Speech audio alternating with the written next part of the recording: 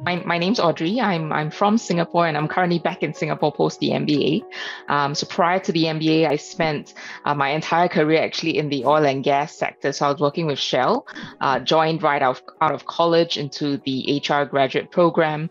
Um, and yeah, over the course of about a decade, was just doing different roles within HR, uh, from learning and development to industrial relations to, to mostly business partnering work.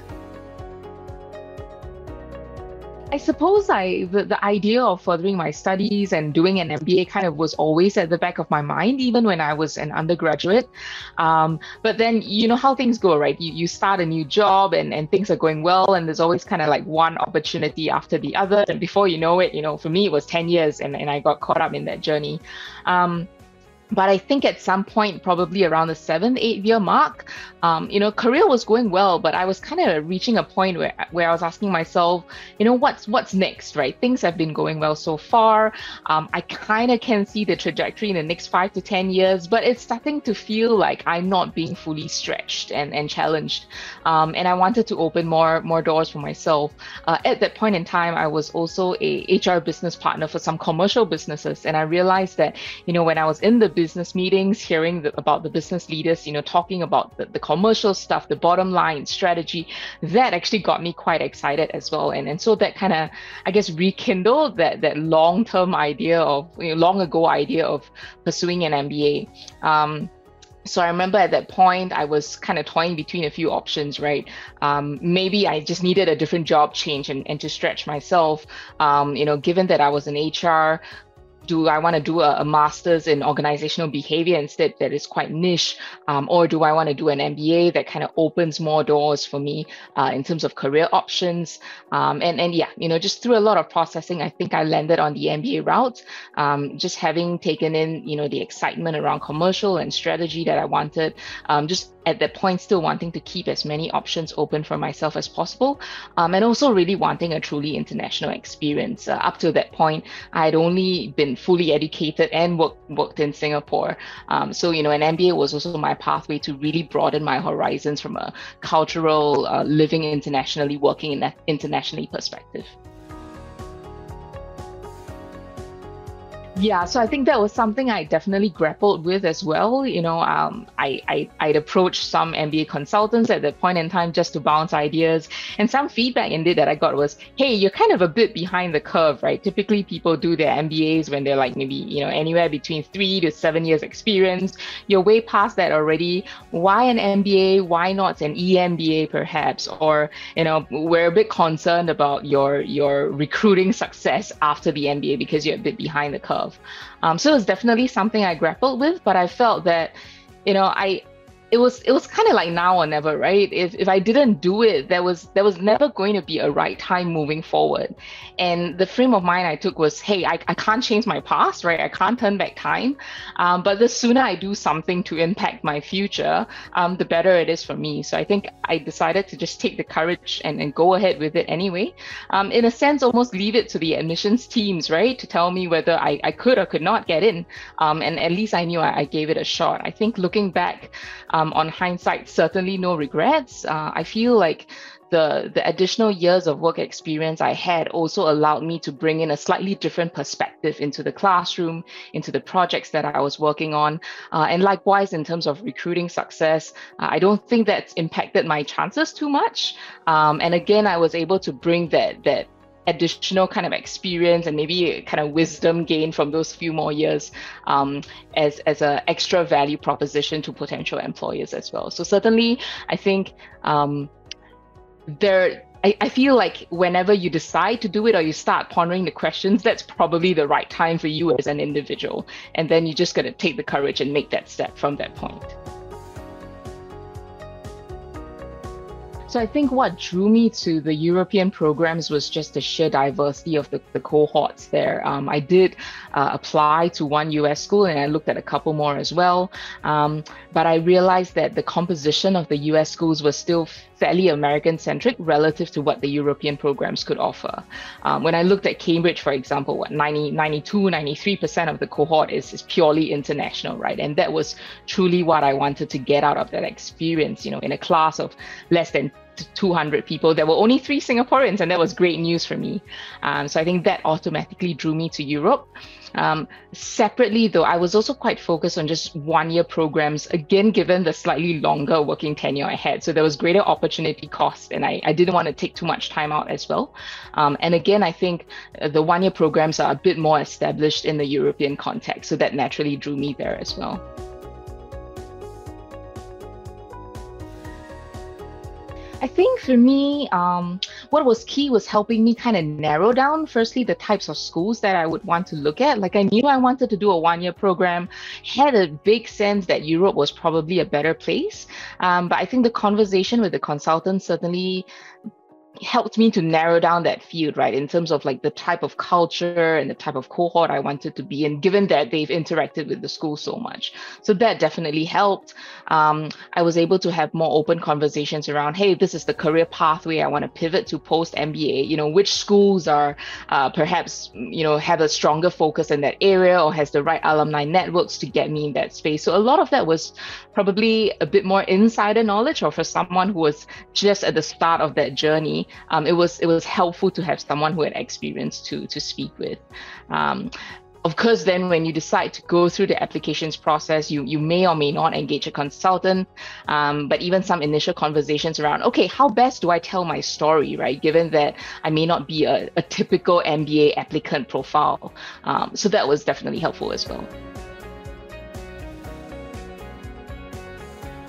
I, I think actually when we came together as a cohort, I, I found that age or kind of years of work experience was no longer um, kind of the differentiator or barrier, right? Regardless of how much experience or how little someone had, the reality was we came from very different fields of work. And I think it was that that diversity of our backgrounds rather than how many years or how few years we had accumulated um, that, that made the difference really.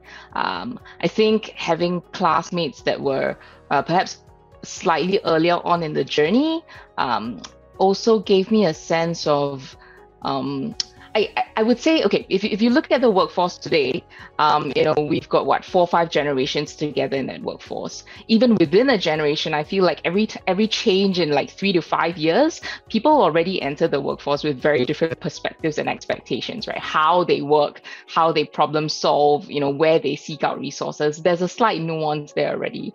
And I think that was then the learning I took from my younger classmates as well. I probably remembered myself being in their their you know their shoes five years ago um, and just going back into the MBA working alongside them perhaps kind of getting that fresh perspective and that fresh energy again um, rather than being um, you know a person with 10 years experience, you're probably more used to dealing with like middle management folks already or upper management folks. I think it was useful to just take a few steps back, regain that that energy, um, and just you know sometimes be able to to ideate with a fresh slate, right? Not have the baggage of oh yeah I've seen this before, we've done that before, it doesn't work.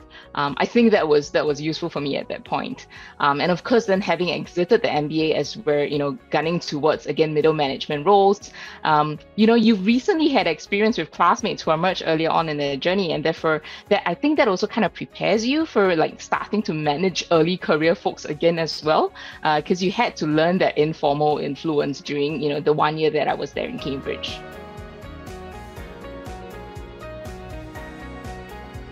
I mean, Oxbridge or Cambridge definitely is a very strong brand in, in the Asian market, at least. Um, in Singapore, you know, Cambridge has had a long history with our education system, right? So I think um, the reality is anyone you know it does open more doors for you in terms of potential employers um, or even from a professional perspective. You know if you want to seek someone to to just bounce ideas with build your network you know get a mentor just saying that you've been to cambridge and you you know you you have the cambridge mba that certainly opens up opportunities for you. Yeah. Um, I would say decently strong. I mean, I think uh, compared to you know maybe much more as larger uh, kind of European schools, our cohort size is, is smaller, right? So it's it's a smaller network, but I would almost say because it's smaller, it's more tight knit. Um, so one of the main reasons that actually drew me to Cambridge was also because I personally had known you know four to five friends who through different years had all ended up in the Cambridge MBA. So in that sense, I would almost say it was that network that kind of drew my attention to this school um, and eventually led me there, right? When you personally know people, you know the competence that they have, you you hear their personal stories of what they've been through, um, and you know the character that they stand for. Um, and, and that made the decision much more easier when I had to choose between Cambridge and other schools. I think it definitely was transformational, um, but in many ways, it's almost not something that's very obvious. I, I would say you you definitely have to take time through you know the year or two that you're an MBA, really constantly reflect on like, hey, where I was a month ago or two months ago, where am I now? And as you consciously think about it, I think that's where you realize the changes are. So it could be a lot more subtle than you realize. Um, I also think the true value of an MBA is probably realized not immediately after. I mean, there is some value, um, but the max utilization probably comes in like five, ten years down the road where you're actually in a senior management position, right? And then you get to see how the breadth or the broadening of perspectives you've gained on the MBA um, applies fully in, in the workplace. Uh, from a personal perspective, I think the cultural broadening was was very key for me. So prior to the MBA, I mean, I assumed, hey, I work in a truly global MNC, right? Every day I'm on calls with colleagues from all over the world. You know, I think I'm fairly internationally minded. I think I've been exposed already. But I think when you're face to face in a physical environment with peers and and you're not guarded by you know organizational hierarchy, that you know you really have to influence and work alongside people who are peers. Um, I think think that truly puts things to the test and that truly grows you in terms of your cultural awareness um, you know really building your skills as a as a, a, global kind of employee and future global business leader.